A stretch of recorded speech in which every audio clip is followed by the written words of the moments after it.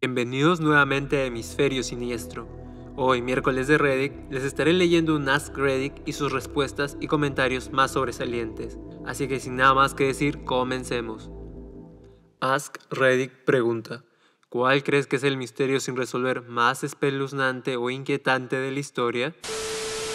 Soy un ávido lector de misterios sin resolver y no sé por qué se ha quedado con mí, pero Carly Goose, una niña de 16 años, llamó a su madrastra para que la recogiera de una fiesta. Supuestamente estaba demasiado asustada para dormir, porque pensó que alguien la mataría, y al día siguiente desapareció. Hubo algunas entrevistas y dinámicas extrañas entre los padrastros y los padres biológicos, y abundan un montón de teorías. Su padre acaba de ser arrestado por lesiones corporales al cónyuge. No se ha publicado más detalles, pero eso es un cargo bastante aterrador. Parece que papá tiene problemas de ira y la madrastra no le gustaba a la chica, su pobre madre. El bosque del horror de Ibadan en Nigeria. Un taxista local desaparece y sus amigos crean un grupo de búsqueda improvisado e investigan un bosque.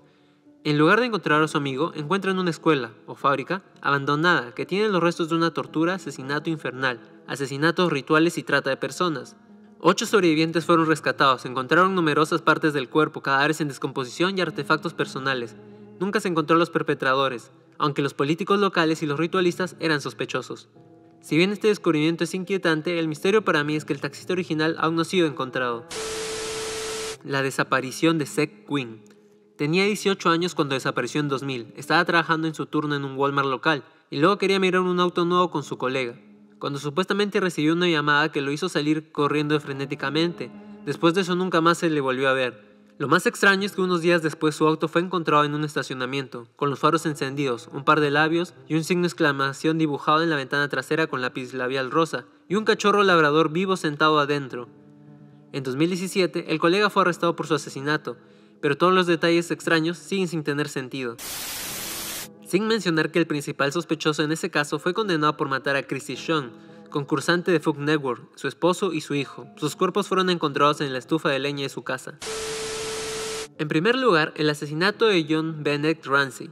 Solo la idea de que sus propios padres podrían haberlo hecho es inquietante, especialmente considerando las circunstancias. Y también los asesinatos de la cabaña Keddy. La hija de 14 años de una de las víctimas no solo los encontró atados y asesinados a puñaladas, sino que otros tres niños aún dormían en el dormitorio sin tener idea de lo que había sucedido.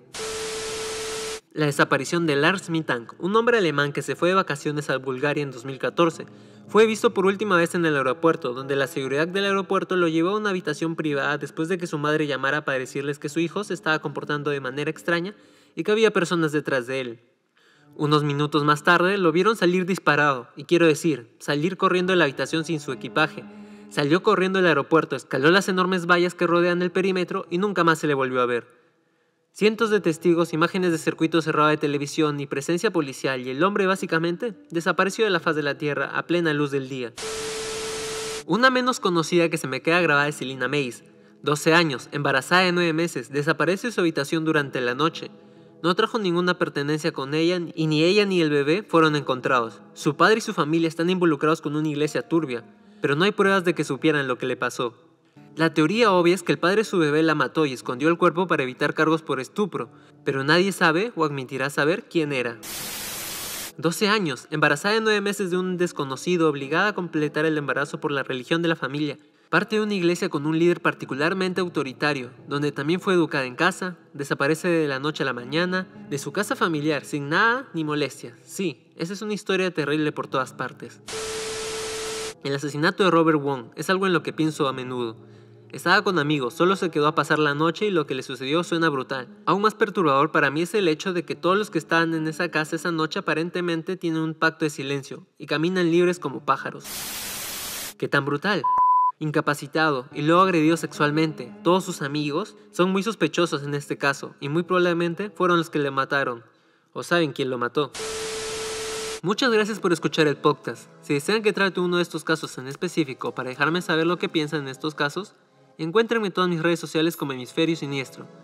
Nos volveremos a encontrar mañana con Jueves de Misterios sin Resolver, donde el caso del que les hablaré los dejará atónitos. Tengan un muy buen día o noche y hasta la próxima.